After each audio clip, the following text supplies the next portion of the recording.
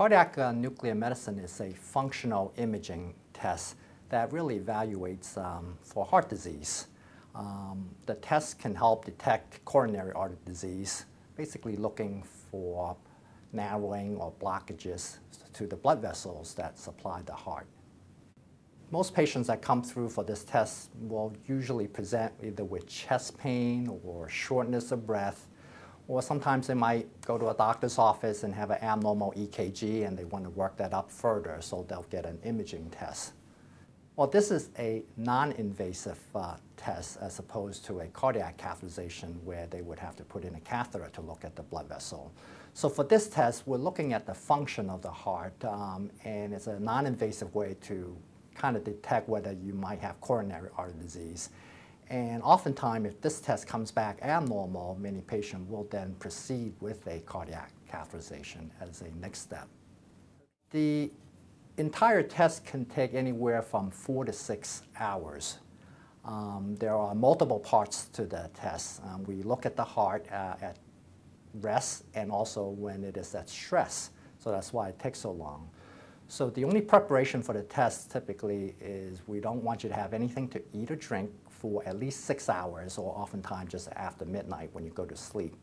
Um, when we also ask you to avoid any caffeinated foods and drinks for at least 24 hours before this test. So after you come here, um, typically we'll have an IV in you to inject the radiotracer material that we will give you for the test. For the first part of the test, we look at the heart when it is at rest.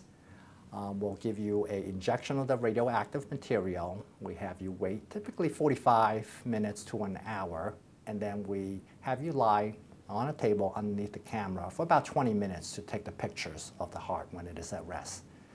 Then for the next part of the test, we'll have you come back at a designated time for the stress portion of this test. Now the stress can be done a couple of different ways. Um, we can have you walk on a treadmill to get your heart rate up, um, and that's one way to stress the heart. Or we can give you a chemical or a medicine to stress the heart. Basically, it vasodilates, dilates the blood vessels in the heart um, to stress it. And then we give you another injection of the same radio tracer material, and then we have you wait another 45 minutes to an hour again, and then we put you underneath the camera for another 20 minutes for another set of pictures. And then we process all the images, um, and then somebody will interpret them, and then a report will then go to your doctor. Um, it's a very non-invasive, painless test, um, very little side effects. Um, and most patients tolerate uh, the test very well, and typically, if you have no symptoms uh, at the end of the exam, you get to go home, and there's no restrictions after that. We want this test done at Miami Valley Hospital because we have a lot of experience with this procedure and we have a very friendly environment. The technologists uh, will walk you through the entire exam and most patients, you know, have a very pleasant experience.